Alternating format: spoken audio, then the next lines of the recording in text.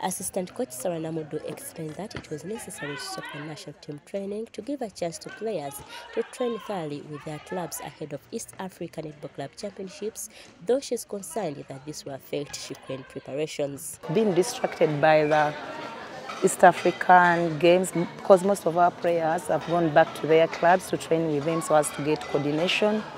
And the majority of our players are students some of them have gone for graduation, some of them have papers. So it has been distracted by those issues. So we were expecting 27 players, but today there were only 17. 10 people were missing, so the training has been 50-50. In the East African Netball Club Championships, Uganda is to be represented by six clubs, of which four are for females and two for male.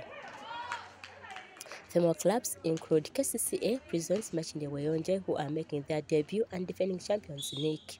We are the champions of the league and we are heading to East African Games. Still, we want that trophy back to Prison Netball Club. We, we Prison Netball team, we are not going to leave it in the hands of NIC. We are going for it as we went for for the league championship.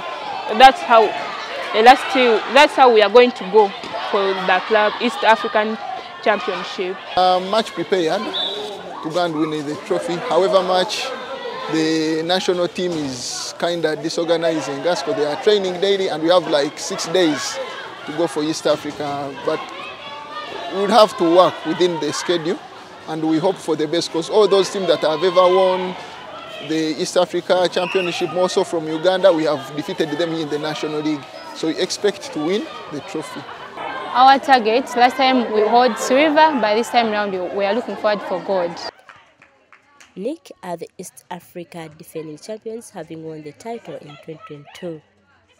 The 2023 Netball World Cup is slated for July 28th to 6th August, with Uganda placed alongside New Zealand, Trinidad and Tobago, and Singapore. Thank you.